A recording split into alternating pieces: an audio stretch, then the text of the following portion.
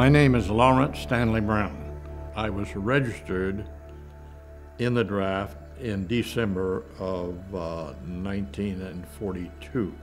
And my uh, um, enlistment features that I volunteered for the Navy, although it was a draft. I was cited as a volunteer. it, you know, I was just a kid and I was waiting for it. I knew it would happen. I was a torpedoman striker. I was a first class seaman striking for to be a torpedoman. And I was a lookout.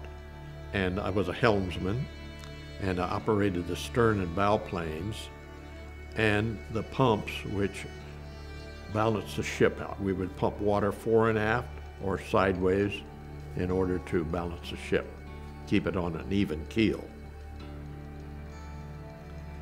And those were my duties, and of course, uh, studies with the uh, first class torpedoman who instructed us further, and we had to uh, examine the torpedoes and check them out. Um, electric torpedoes, check the electrolyte in the batteries and so forth. The steam torpedoes were pretty well set when you got them. They had a tower 120 feet high called a diving tower. And uh, by gradual uh, acclimation, they would lower you into the water with a Momsen lung.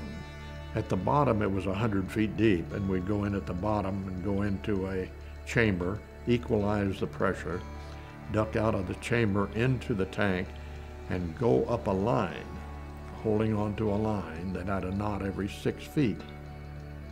And you would pause for a count of two every six feet. That would allow the uh, nitrogen dissolved in your blood to uh, recombine, and at the time you would reach the surface. Prior to this, they put you in a pressure chamber to see if you're, you had any problems bearing 50 pounds of pressure and I was assigned a submarine, number 325, the USS Blower.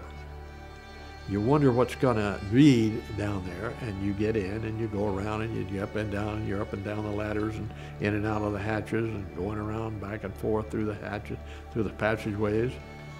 And pretty soon it's old home week. It's natural. It's home.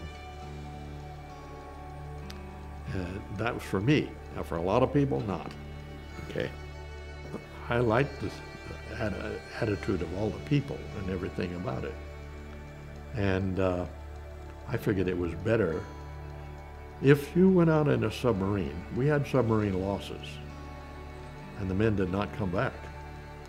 But they did not come back with holes in them, with wounds, with parts missing. They came back essentially whole or not at all. That appealed to me. I had no fear of death. We arrived at Key West, Florida, and operated for two weeks with a sound fleet, uh, doing evasive tactics, they seeking to uh, find us, and we seeking to evade them. And they had a small depth charge. I don't know, it was some little small explosive they would drop on us if they found us and they did a couple of times.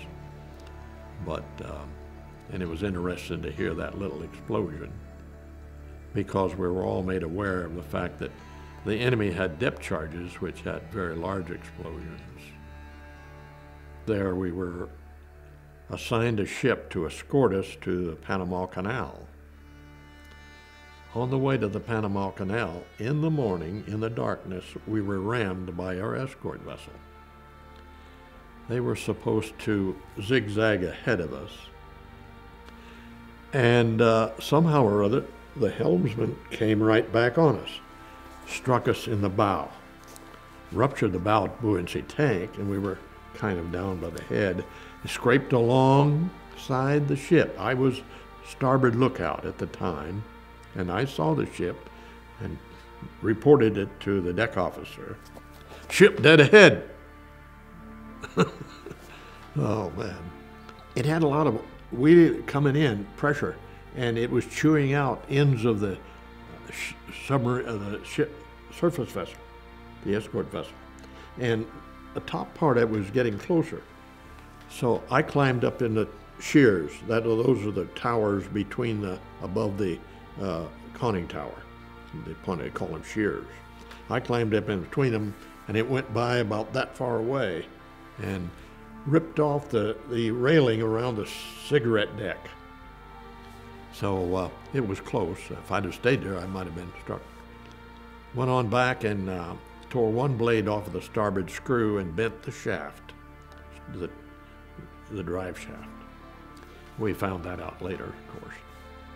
Uh, we were escorted back to Key West. They put us up on the Marine Railway, drew us up, examined it, found out what was going on, sent us back to New London, Connecticut for repairs. The repairs were done, and we, re- we depart- departed uh, New London uh, in November and sailed directly to the Panama Canal alone. No escort vessel. On the way, we were fairly close to Bermuda. We went way out into the Atlantic. Uh, we could actually see the lights of Bermuda as we went by. And as we went along, this particular night, moonlight night, uh, PBM, Patrol Bomber Martin, flew over us. And as I looked up and saw it, the bomb bay doors were opening. Well, it went on ahead and turned and came back at us. It was going to bomb us. However, the signalman got the proper coded signals up to it, and it closed its bomb bay doors and went on. Um, we sailed on down without further incident to the Panama Canal. The veterans have a torpedo. They have a klaxon on it, which is, it goes like this ooga, ooga, ooga. That's a diving alarm. And they would sound the diving alarm. Well, you cleared the bridge. You got off, you went down the hatches, and if you're the last one, you closed the hatch. And um, then uh, the uh, personnel inside were checking gauges and so forth and putting pressure in the boat to see that we were sealed up. When we arrived at Pearl Harbor, I was wearing glasses and I wanted a second pair. So I went to the base dispensary and ordered a second pair and paid for them. I had to pay for them, they wouldn't give them to me.